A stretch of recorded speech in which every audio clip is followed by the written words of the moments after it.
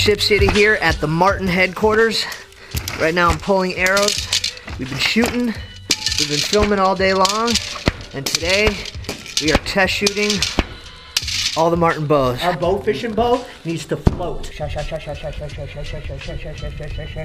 Wow. They need to be faster. This one's the Saber people, and it shoots like a dream. It's a takedown.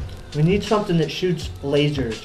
Matter of fact, laser is the coolest name for a bow. We just need to get rid of all the names and just name every single one of our bows the laser. This one right here is the Mamba recurve.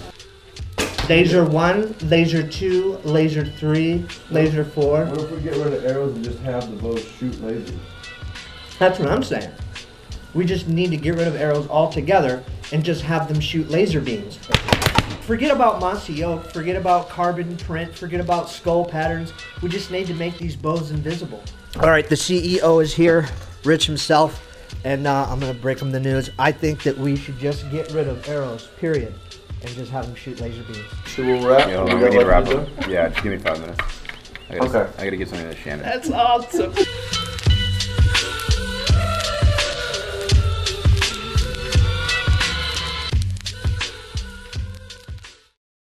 Laser Fear no evil. beams. We want this